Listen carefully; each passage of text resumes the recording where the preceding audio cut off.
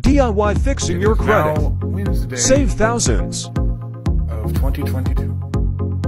That means it's two days until Friday. And on Friday, that means this $10 special to start fixing your credit is going to begin. Now, versus this, versus this $10 special, most people will go to this to fix their credit. For someone else to fix it. Ten dollars will give you the tools to your own credit and not pay this much.